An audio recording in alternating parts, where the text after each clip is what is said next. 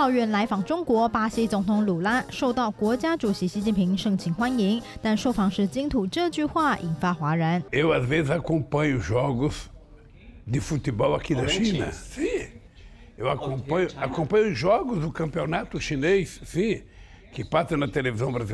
可以提到常看中国足球，连中国网友都笑了。有网友表示，一个足球大国总统居然看足球小国的足球。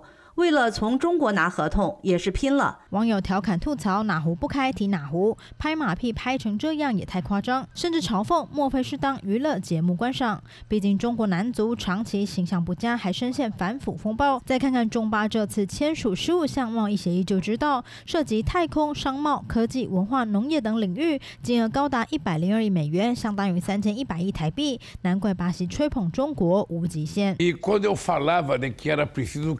nova moeda que um país do tamanho da China e do tamanho do Brasil não precisa negociar com base no dólar. 鲁拉争议言论不止一桩，甚至高调呼吁金砖国家放弃美元，改用本国货币结算，同时强调没人能阻止中国跟巴西拉近关系。Lula's remarks are certain to please his Chinese hosts, as Beijing has been challenging the U.S. global dominance in recent years. 此外，巴西总统也借机重申奉行一中原则，为了贸易合作高调抱中国大腿，更矫情自封中国足球迷无所不用其极。财经新闻，全部报道。